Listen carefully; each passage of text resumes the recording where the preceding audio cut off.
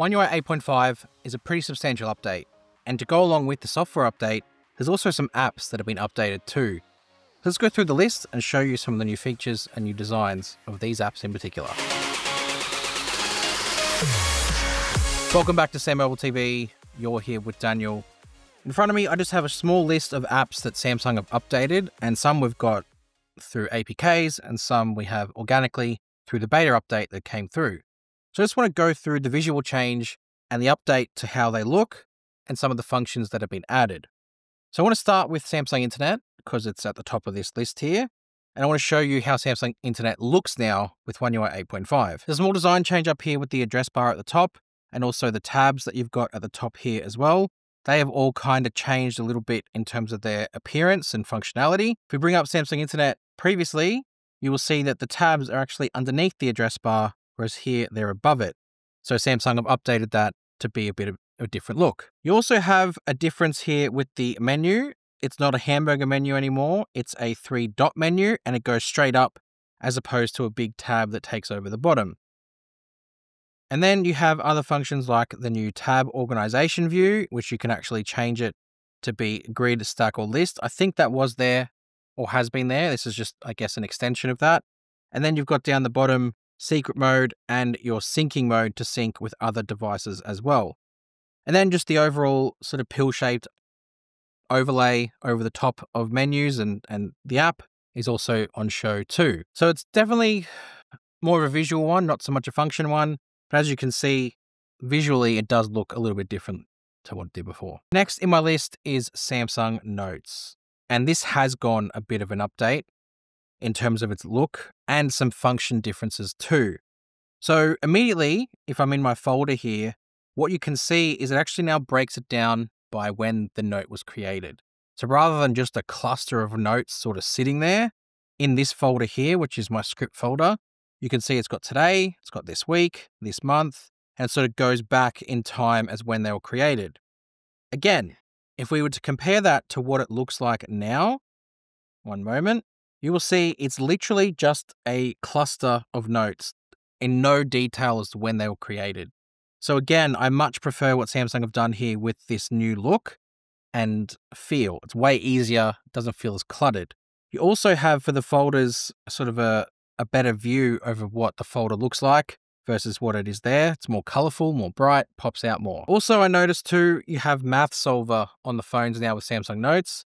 Again, not something that existed in this version of Samsung Notes, but it did exist on the foldables, the Fold 7 in particular that I have. Now he's here though on One UI 8.5's version of Samsung Notes on the phone, S25 Ultra. Functionality wise, there's nothing really that different it just has those overlays of like the pill shape stuff that we've been seeing pretty much littered throughout everything else. Next in my list is calendar. And really the only thing that's different with the calendar is the pill shaped sort of look.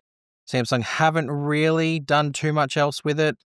And uh, I just want to hide my calendars there. Everything else looks pretty much as is as what I did before. It's just that pill shaped adoption is now there. There's some slight differences with the grid of the calendar too. They're a bit more defined. But really, the main one is that pill shaped stuff. Next, I have voice recorder, and this definitely has gotten a visual update.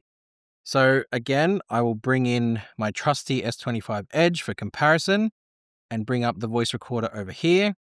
And you can see that the voice recording memos that have been created kind of have more information that you can see. They've got like a tag, which is there too, but it also is a bit more defined in blocks as opposed to just a line that's underneath each one. They're now kind of sectioned off with a block and a little bit of a shadow behind it to sort of really create its own identity.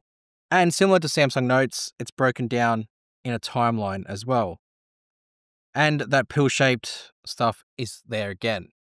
Hit record, and the interface of recording roughly the same. Like you don't have this block here, it looks more sort of natural with the flow of the recording and the audio wave. And again, you've kind of got a little animation running in behind here. It's definitely more of a visual update. Next up, I got the Reminder app. And this hasn't really changed much from a function standpoint. The One UI 8's version of Reminder kind of already got that. Uh, and let's just, again, why not show you the difference? So you can see really what they've done is just bring in a bit more visuals with the purple sort of animation gradiently in the background and then shrunk the add reminder to be, again, that sort of central pill shape as opposed to the elongated one. Still hasn't got back the One UI one handed feel where it brings two thirds and one third. That's still not there, but other than that, very, very familiar to what it was before. And then there's three apps that have kind of already been showcased, but whilst we're here, we're going to do them again because, well, why not? Next one's Gallery. The gallery for me is kind of the one that's probably the showcase of what this is about the most because you've got that menu in a pill shape down there and you can switch between everything. And you've got the pill shaped overlays with sort of kind of blurred gradiently so you can see through them. And that's right throughout. So even if I were to bring something up here, you can see those overlays exist in all of that sort of stuff. There is some new features though within the gallery too. You've got collections, which replaces stories. So before the stories used to be this tab here. Now collections are a little bit different in how it works. So you still can describe your story, but it's just not as uh, put in your face with auto created stories. It's kind of just a little bit more subtle and you have a bit more control over that whole thing. It's kind of also merged search a little bit in a way because it's got shot types that you can sort of search for and click on in the same way that you can, or you can't do that here. You've got to go to search. So it's kind of brought some stuff in from search into there. And then you've got search up there as well. And then you've got private album, which was just a Gallery Labs feature before. Now it's become fully part of One UI 8.5 and the gallery, which means you can actually lock an album behind like a fingerprint or a password in the gallery. Then we have My Files. And again, this is another showcase of what Samsung are trying to do here with this minimalized sort of visual, but sort of make it cleaner. So you've got the cleaner look up here. Again, I will just, I should just leave it here. Bring in the S25 Edge you will see that everything doesn't take up as much space. It's all kind of been shrunk into a bit tighter of an area to make it easier to view. And it is, it's much, much easier to view this than what it is this one over here. Like you still have all the same information, it's just now shown in a much better way.